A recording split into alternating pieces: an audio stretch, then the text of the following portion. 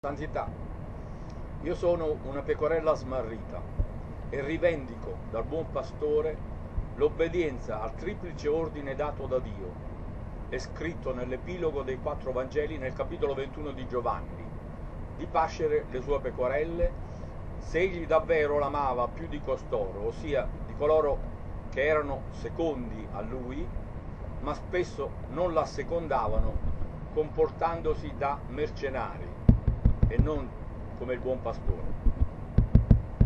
Rivendico un primo che sia davvero primo mettendosi in fondo a tutti, a servire tutti, e non al vertice di una struttura di comando degna del mondo, ma non dell'altro mondo, di Dio. Io, essendo un filosofo della scienza, rivendico il rispetto della sacrosanta promessa assunta in nome della fede dal suo santo predecessore, quando concluse il punto 56 della Fides et Ratio con le parole la fede si fa così avvocato, convinto e convincente della ragione. Nel 1999 quattro sacerdoti e 460 persone scrissero al Pietro di allora questa supplica scritta, scrivendo così Papa santità vostra.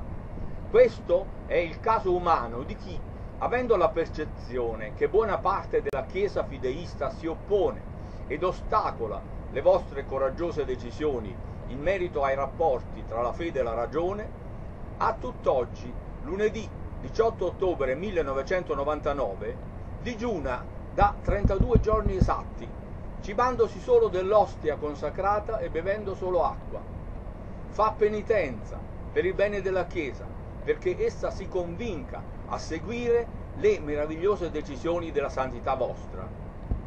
Per carità umana, ricevetelo e con urgenza, affinché cessi il suo digiuno, avendo finalmente egli rimesso nelle vostre sante mani i problemi che non gli danno pace, proprio per quella passione, quell'ansia e quella audacia della ricerca da voi stessa santità auspicata nell'enciclica.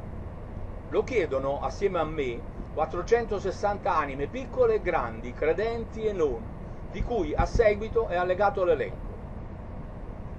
Questa petizione scritta fu firmata da il rettore della Madonna delle Grazie a Berceto e dai prevosti di Berceto, San Giorgio Martire di Ierago e San Giovanni Evangelista di Bulciago.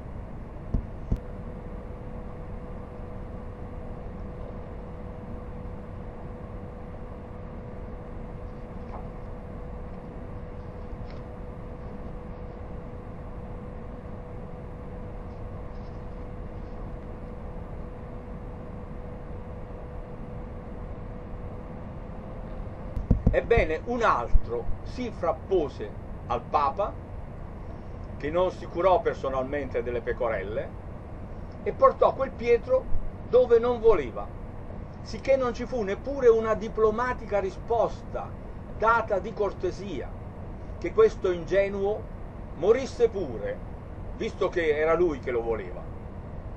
Era tanto ingenuo da credere che, rischiando la sua vita, avrebbe fatto qualcosa di attendibile doveva, per attrarre l'attenzione, se fosse stato meno bambino, doveva agire come fece Ali Adja e mettere a rischio l'importantissima vita del Papa. Solo allora avrebbe meritato attenzione.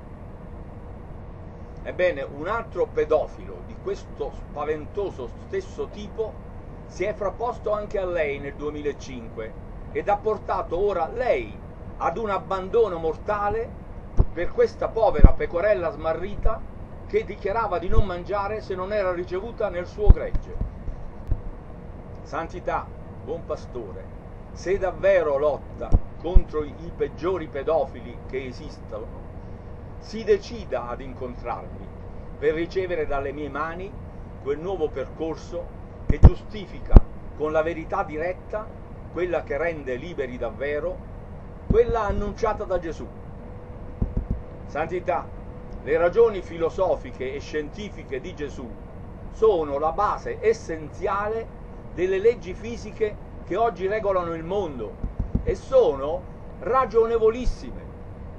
Infatti se il mondo appare evolvere elettricamente e magneticamente, ma solo sulla base dell'antimateria e del magnetismo, che agiscono nel modo uguale e contrario di una creazione tutta in atto che rientri nello Spirito Santo di ciò che esiste solo in potenza, se questo è quello che è il divenire dell'apparenza, noi vediamo l'aspetto evolutivo di un atto che in verità sta già ora tornando a Dio. Non si può considerare solo l'evoluzione materiale che vediamo e ci porta alla fine, ma solo, possiamo farlo, sulla base relativa e sacrosanta, nel suo essere vero, di quel verso opposto dello Spirito Santo che ci riporta al puro e paterno principio di ogni cosa.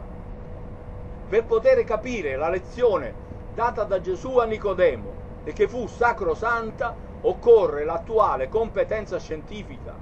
Non si può lasciare l'interpretazione di questa lezione sacrosanta ad una umanità che non faccia tesoro dei doni di scienza fatti all'uomo da Dio in duemila anni di cristianesimo.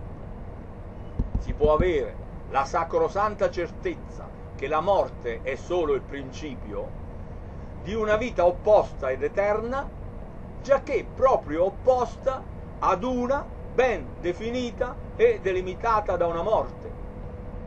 Noi ci stiamo allontanando da Dio con la visione della materia, vista muoversi nel verso opposto allo spirito, perché essa è pienamente coerente all'essere di uno spirito santo che già ora è risorto dalla morte e già ora sta tornando a Dio. Noi possiamo vedere il mondo in azione grazie all'azione uguale e contraria di un mondo che sta tornando tutto a Dio. E questa santità è la verità che salva ogni cosa e toglie ogni possibile confusione alla interpretazione della nostra pura essenza. Santità mi diceva queste cose vanno meditate. Se fossero molto facili da capire e immediate, sarebbero state già capite. Occorre un po' di valutazione scientifica.